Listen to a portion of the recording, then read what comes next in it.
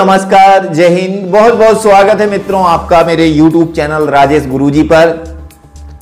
Channel पर नए हैं तो चैनल को सब्सक्राइब ज़रूर कर दें। अभी आपने सामान्य प्रशासन विभाग का एक आदेश देखा होगा, जिसमें कोडवारों का ज़िक्र है, आंगनबाड़ी कार्यकर्ताओं का ज़िक्र है, संविदा कर्मियों का ज़िक्र किया गया है, लेकिन उसमें अतिथि शिक्षकों का नाम नहीं है दोस्तों।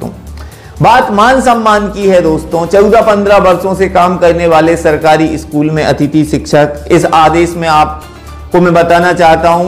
हालाँकि आदेश को लेकर वीडियो मैंने पहले ही बना दी थी, लेकिन अब यहाँ पर आप देख लें। मध्य प्रदेश शासन सामान्य प्रशासन विभाग मंत्रालय 9 दो 2024 और यहाँ पर राज्य शासन एतद द्वारा प्रदेश के शासकीय कर्मचारी, कार्यकर्ता, संविदा कर्मी, आयुष्मान भारत निरामय प्रधानमंत्री जन आरोग्य योजना के अंतर्गत सम्मिलित किए जाने के संबंध में मुख्य सचिव मध्य प्रदेश शासन की अध्यक्षता में निम्न अनुसार समिति बनाई गई है। और नीचे यहाँ पर आप देख सकते हैं, उक्त समिति का दायित्व है कि मंत्री परिषद द्वारा लिए गए निर्णय दिनांक 4 दस 2023 के अनुपालन में प्रदेश के शासकीय कर्मचारी कार्यकर्ता संविदा कर्मियों को आयुष्मान भारत निरामय प्रधानमंत्री जन आरोग्य योजना के अंतर्गत पूर्व में स्वीकृति पात्र श्रेणियों में सम्मिलित हितग्राहियों को।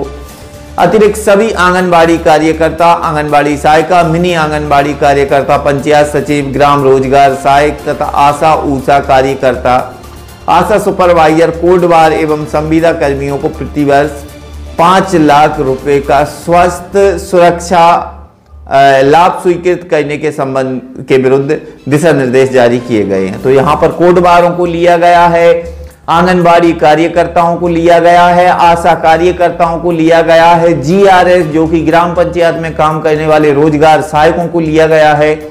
लेकिन अतिथि शिक्षकों की इस, यहाँ पर इस आदेश में कोई ज़िक्र नहीं है।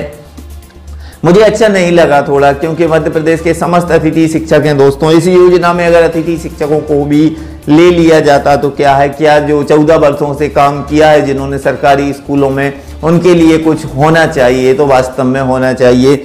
लेकिन यहाँ पर आज जब ज्ञापन दिया तो कुछ अतिथि शिक्षकों ने बच्चों से पूछा, जो कि इलेवन, ट्वेल्थ के बच्चे हैं दोस्तों।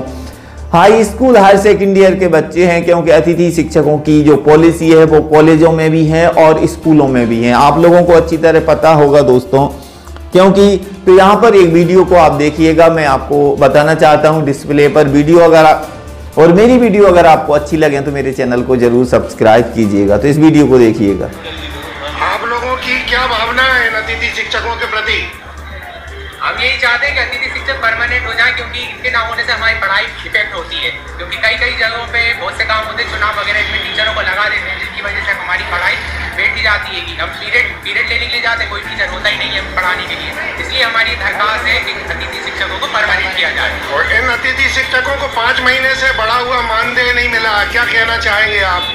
बिल्कुल गलत बात है। बाकी के टीचरों को ज़रूरत से ज़्यादा तनख्वाह दी जा रही है लेकिन अतिथि शिक्षकों को उनकी ज़रूरत के हिसाब से तनख्वाह नहीं दी जा रही बल्कि वो उतना ही पढ़ाते हैं जितना कि परमानेंट टीचर पढ़ाते हैं। ये पूरी तरह से अन्याय है। बहुत बहुत धन्यवाद। दोस्तों एक बच्ची ने कहा ये अन्याय है और जो नियमित टीचर हैं उनको ज़रूरत से ज़्यादा पैसा दिया जाता है लेकिन अतिथि शिक्षकों के लिए घर चलाने के लिए पैसा नहीं है। ये दयानीय स्थिति बन चुकी है। अतिथि शिक्षकों की दोस्तों, पैसे नहीं है जो 15-20 किलोमीटर दूर जा रहे हैं। उनके पेट्रोल डलवाने के लिए पैसे नहीं है। उनका कहना है कि, सर, कुछ करवाइए। पोर्टल को लेकर भी परेशान है। पोर्टल पर कई ऐसे अतिथि शिक्षक हैं बेचारे जिनकी फीडिंग नहीं हो पाई है। आप क्या कहना चाहते हैं? इसके बारे में आप मुझे ज़रूर राय दें दोस्तों। और मध्य प्रदेश के नए मुख्यमंत्री डॉक्टर मोहन यादव जी से मैं निवेदन करना चाहता हूँ, हाथ जोड़ के कि आप इन अतिथि शिक्षकों के लिए कुछ करें।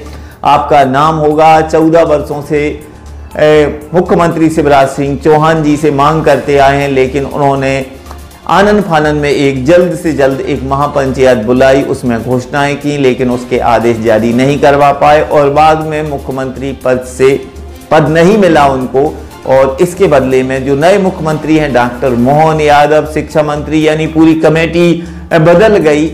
इसको लेकर अतिथि शिक्षकों ने आज समस्त जिलों में ज्ञापन दिया है और अतिथि शिक्षकों की जो विडम्बनाएँ हैं, वो है मानदेय को लेकर।